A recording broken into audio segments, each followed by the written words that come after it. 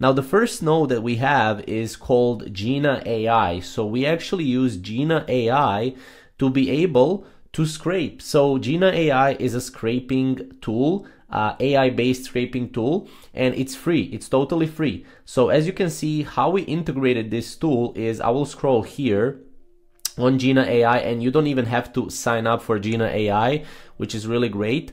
And you scroll here and as you can see here, you have your API key and you have your endpoint URL.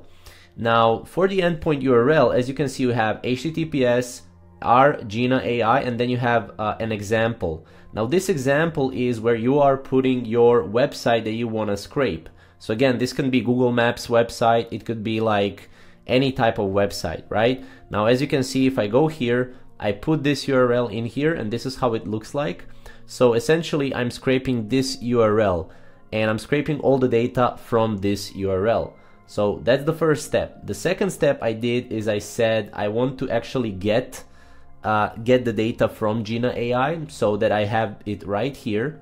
And then I want to have generic credential type, header auth, and then in here I basically went in and I put the name authorization and the value is going to be this value right here. So you just copy this value without this at the end. So just like this, you copy that and you go in here and you paste it and you authorize Jina AI. From there, you just hit test and obviously ignore the SSL issues. This is just a precautionary measure and ju just click test and you will get a lot of different data points. You actually need just these data points, right? We don't need all of them.